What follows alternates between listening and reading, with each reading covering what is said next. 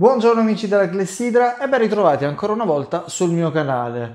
E dunque anche oggi si parla di orologi, ma ovviamente lo faremo come sempre dopo la sigla.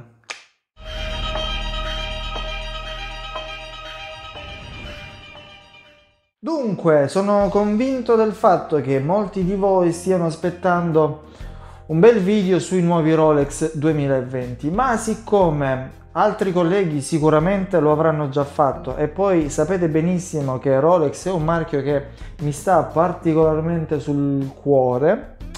Parleremo di tutt'altro, ovvero parleremo di Baume Mercier, è uno di quei brand dei quali si parla veramente poco, ma che comunque eh, vale la pena scoprire ed soprattutto del quale vale la pena avere un, un orologio in collezione. In questo caso parleremo del modello eh, di un modello che fa parte della linea Hudson e ci darà una mano, eh, in questo caso una vecchia conoscenza del canale, ovvero Giorgio Ippolito. Ma senza altro indugio diamo la parola a Giorgio, a Giorgio che ci mostrerà questo bellissimo orologio. Vai Giorgio!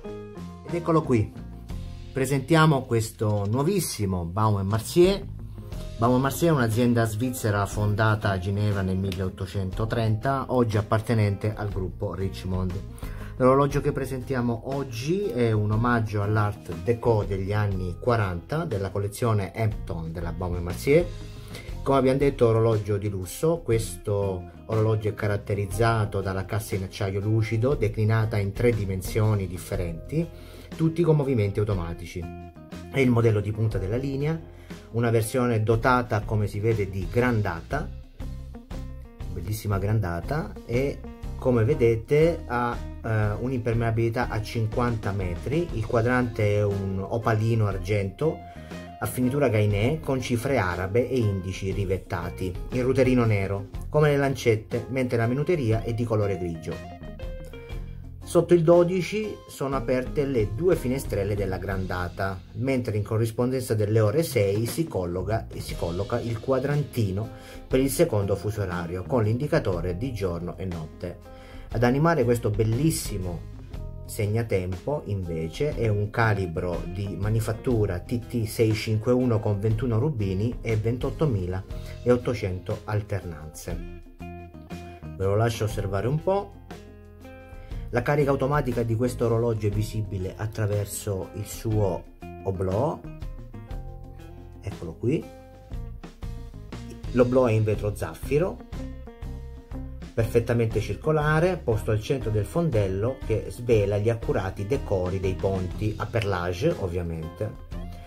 E poi abbiamo la lavorazione che ritroviamo anche sulla massa oscillante al decoro Code Genève eccolo qui.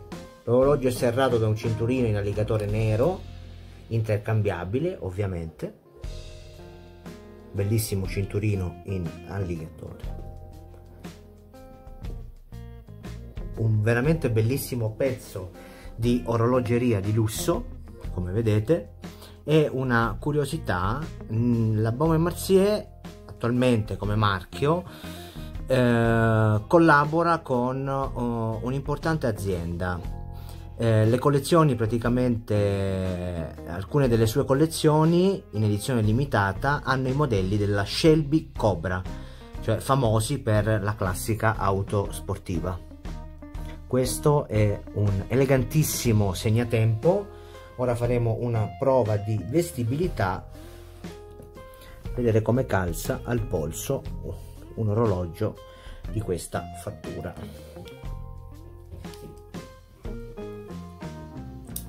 Ed eccolo qui. Ed eccolo qui. Baume Marcier fantastico dunque orologi sicuramente interessanti, quelli di Baume Mercier, e che vale comunque, eh, comunque la pena tenere in collezione.